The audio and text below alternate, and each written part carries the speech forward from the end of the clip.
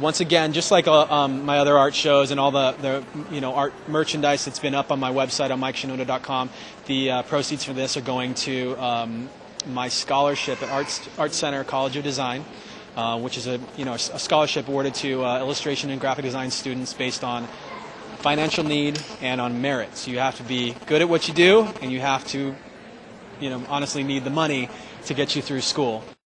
I'll actually tonight I'm going to be meeting. I didn't mention this to anybody else. I'm going to be meeting um, the very first recipient of the scholarship for the first time tonight.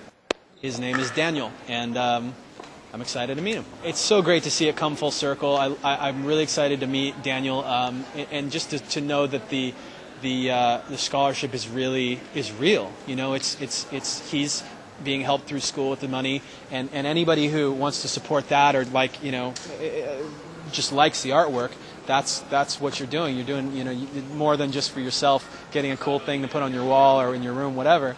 Um, you are helping somebody through school.